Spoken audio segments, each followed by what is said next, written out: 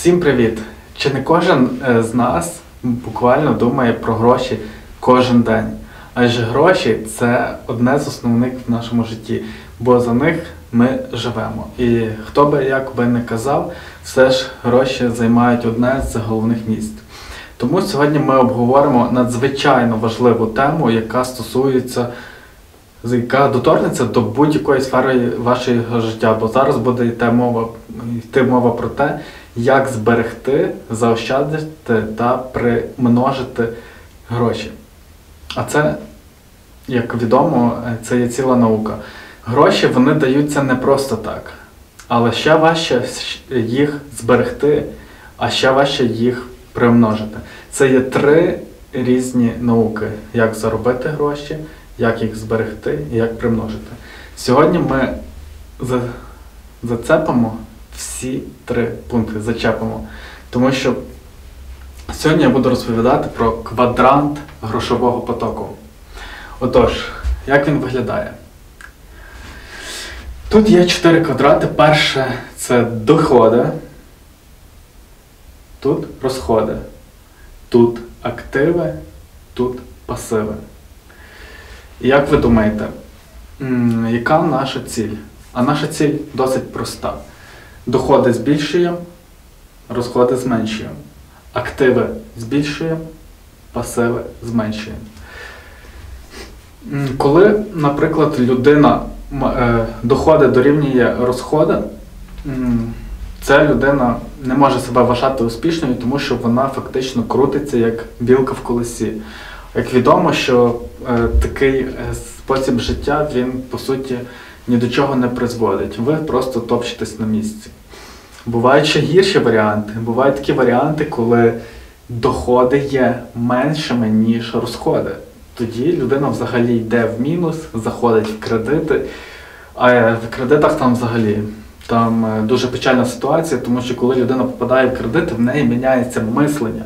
І вона починає думати про те, що вона заборгованості. І відповідно про що ми думаємо, те ми і притягуємо. І людина притягує ще більше боргів, ще більше залазить в кредитну яму. І це взагалі найгірша ситуація з точки зору фінансів. Для того, щоб цього не відбулося, вам потрібно розуміти, що таке активи і пасиви. Я зараз вам це поясню. Отож, е, наша ціль є, щоб доходи були більші, ніж розходи. А для цього нам потрібно збільшувати свої активи і зменшувати пасиви. Отож, зараз поясню, що таке активи і пасиви. Ви, напевно, вже думаєте, що це таке. Хоча, я думаю, ви знаєте. Отож, активи це є, по суті, ваші джерела доходів. Тобто це те, що приносить вам дохід. Це може бути квартира, яка здається в оренду. Тобто вона це є джерело прибутку. Це може бути гараж, це може бути акції, цінні папери, інвестиції, які приносять дохід, тобто які дають плюс. І чим більше у вас активів, тим краще. Чим більше джерел доходу, тим ви впевненіше себе почуваєте і розумієте, що можете взагалі з сходом не працювати, тобто нічого не робити, а гроші будуть до вас текти, стікатися, як річка тече в море.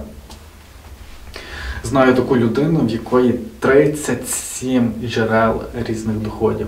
Ця людина вже фактично може відійти від справ, а просто собі направляти свої ресурси в різні сфери свого життя і розбудовувати якісь стартапи, якісь бізнеси робити. І ця людина вже стає як повелителем свого часу і свого життя.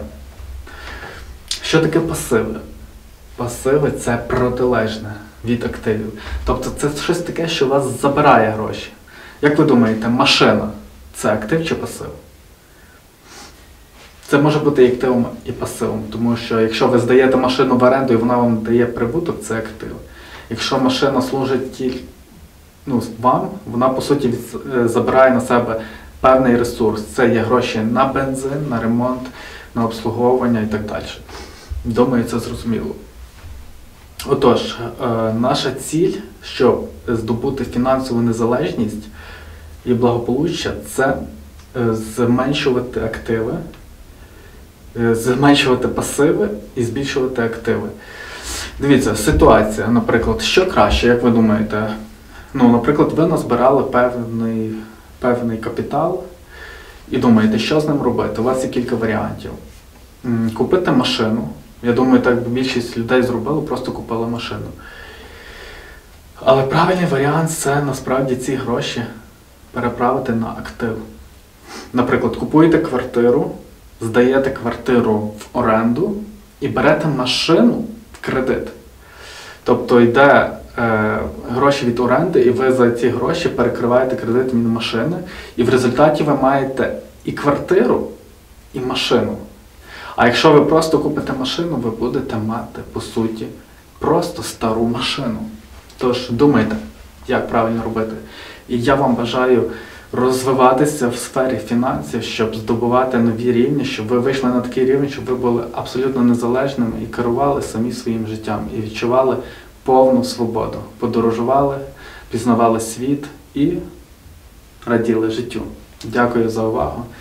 Як завжди, з вами Андрій Грач.